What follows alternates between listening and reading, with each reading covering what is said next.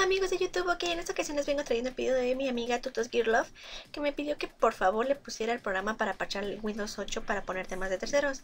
Se los vengo trayendo, se lo van a descargar de Mediafire o Forshare, cuando se lo descarguen les aparecerá su archivo RAR, le darán clic derecho, extraer aquí, les aparecerá la carpetita, le darán doble clic y les vendrá el programa. Le darán clic derecho y ejecutar como administrador, le darán permiso que sí y bueno, les aparecerá lo que sería esto.